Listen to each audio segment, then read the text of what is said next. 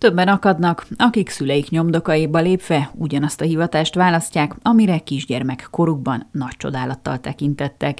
Így volt ezzel Göbölös Péter is, aki a Gyulai Erdészeti és Vadászati ZRT vezérigazgatója, ő, mint mondja, nem tudná elképzelni a mindennapjait az erdő nélkül. Édesapám nyomdokain lépdelve már négy éves korom óta eldöntöttem, hogy erdőmérnök szeretnék lenni.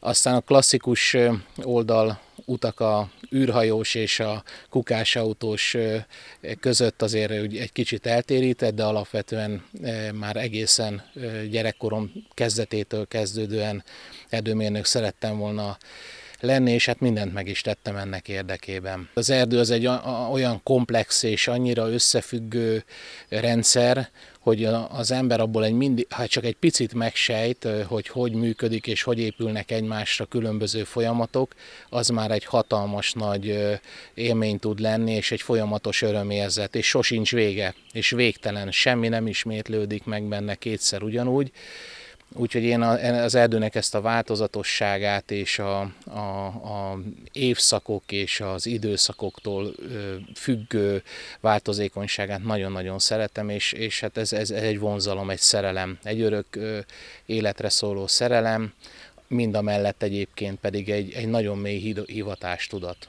Tehát aki az erdőt szereti, az előbb-utóbb azonosul az erdő szépségével is, de a gondjaival is, és a gondjai azt magára képes venni. Úgyhogy nekem gyakorlatilag sokszor előfordul, hogy, hogy lelki bánatként érem meg, hogyha valamelyik erdőállomány részünk nem úgy fejlődik, vagy nem úgy nő, ahogy szeretnénk.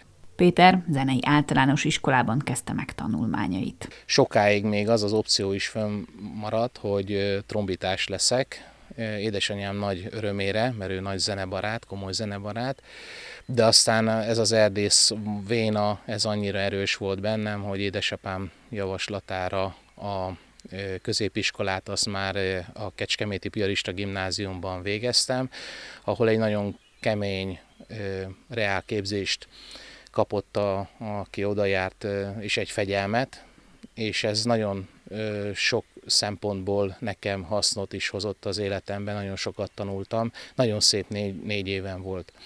És utána kerültem a Soproni Egyetem erdőmérnöki karára, ahol, ahol ö, ö, nagyon szerteágazó, sok mindenbe ö, beleláttam ö, a tanulmányok mellett is.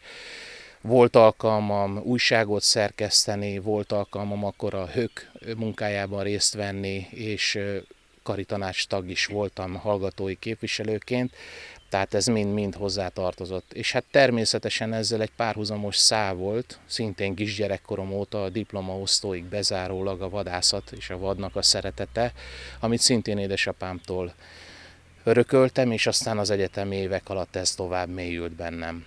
A vezérigazgató több projektet is sikernek könyvel el az elmúlt évtizedekből. A mi szakmánkban nagyon sok minden siker olyan, hogy nem csak az embernek az egyéni, egyedi sikere, hanem mindig egy, egy közös stábnak a eredménye.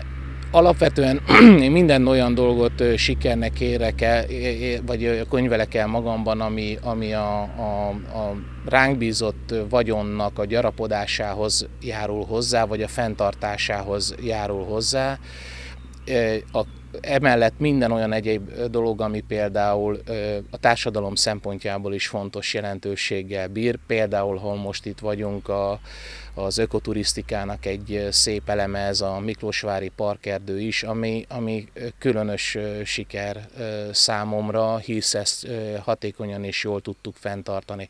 De nagyon sok ilyen egyéb dolog van, ami az ökoturisztikához köthető.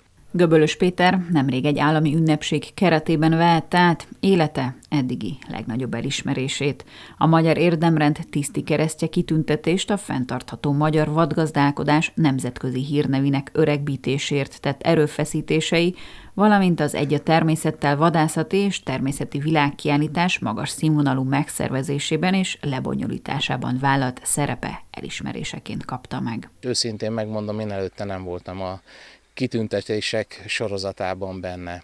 Nagyon nagy megtiszteltetés, tehát azt mindenképpen eh, el kell mondani, hogy, eh, hogy az ember ilyenkor egy kicsit megrendül, hogy, hogy méltó vagyok-e én erre. és óriási felelősség. Tehát én ezt látom sokszor, hogy a kitüntetést adni és a kitüntetést elfogadni, kapni is nagy felelősség mind a két fél részéről, hisz aki kapja, az egy idő után úgymond célponttá, példaképpé válik a, a, a szakmai berkekben, és utána úgy kell a tevékenységét folytatni, hogy erre mindig méltó legyen. Tehát ez egy plusz teher a kitüntetett számára, hiszen ennek az elvárásrendnek meg kell, hogy feleljen.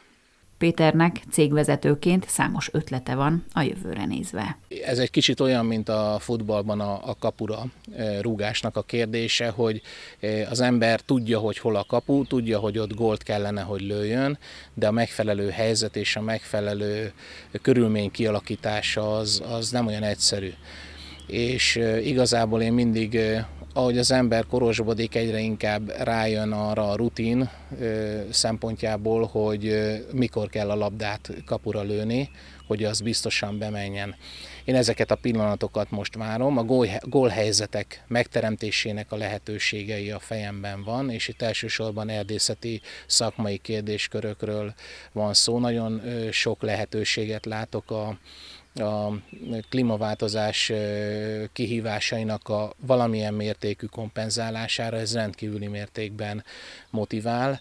Erre technológiai fejlesztések és sok egyéb más dolog szertágazó szakkérdéseknek a, a rendezése, de ugyanakkor ennek az informatikai döntéselőkészítő rendszereknek a kialakításában is nagy, nagyon nagy lehetőséget látok, úgyhogy a későbbiekben ezeknek a fejlesztésébe biztosan, hogy részt fogok venni, ha jó Isten is úgy akarja.